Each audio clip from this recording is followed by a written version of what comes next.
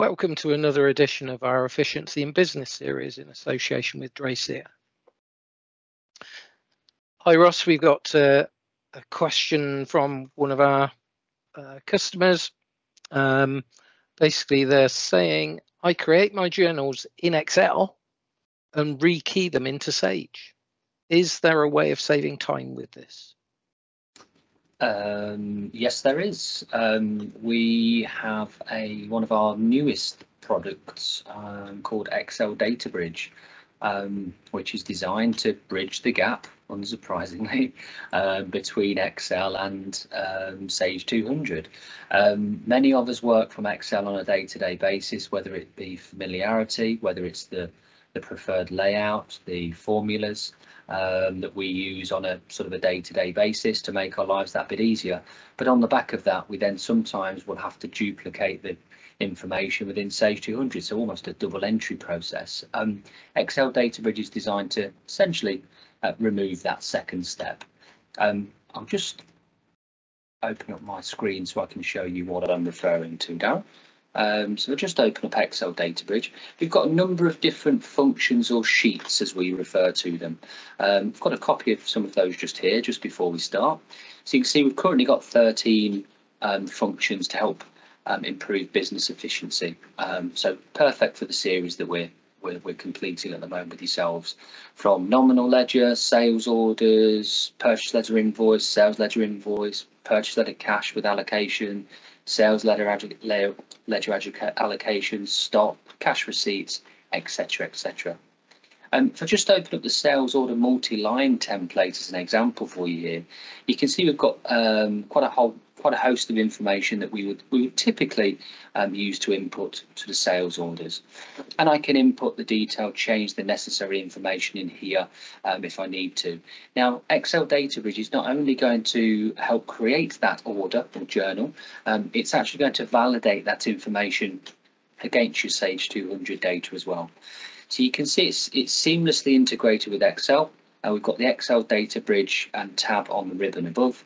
Um, and very simply, uh, once we've input that information, it might well be a document that you've downloaded from um, from a portal or um, or an online um, booking um, process that you have, and we're just going to click validate. What's that? What that's then doing is validating that information, as I mentioned, against your um, Sage 200 data. It will give me an update on the left hand side, as you can see. In this case, pending. Um, nothing requires my attention, I everything within that is all okay. And once we click create orders, that's doing exactly that.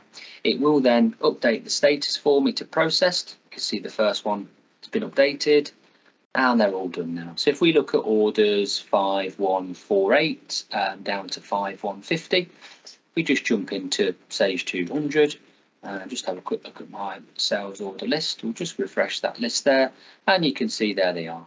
Abbey Retail, Abbey Retail and Quality Counts Kitchen. Just open up that option for us here. You can see we've got the professional blend five speed oven uh, quantity of 20 and again it's all been processed for you within the space of a couple of clicks um, and validated as well. Fabulous.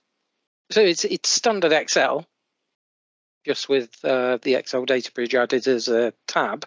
Absolutely. Um, and whilst we're looking at a sales order here, this the same process applies to nominal ledger journals, purchase ledger invoices, etc., etc. Absolutely, that's exactly right. Yeah, absolutely. Um, these documents could also be branded as as your own. Um, as you say, Darren, it's a it's an Excel spreadsheet, um, a fancy one at that. Um, but it does mean that you can you can brand it accordingly.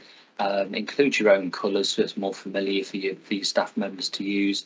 Particularly if you might be using one of the functions for maybe a um, an expenses process um, for your staff members to, to, to input their expenses.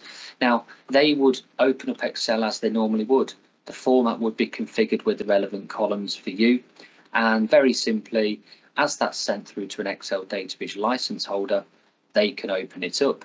They will see the Excel Databridge tab. They can create the order or journal. Simple as that.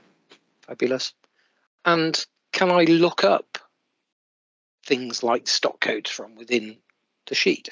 You can absolutely, um, and you can actually create these um, sheets or functions um, to suit your business. So you can take a sales order sheet, you can take a nominal ledger sheet, you can look up the necessary data that you're that you're that you look for. So if I just jump into this line level data here, right click and Excel Data Bridge browse, that's then going to pull open all of the information that I might be looking for. And this is all Sage data, um, so I can see all of the information that I've got with regards to that stock and item line codes and input the information correctly.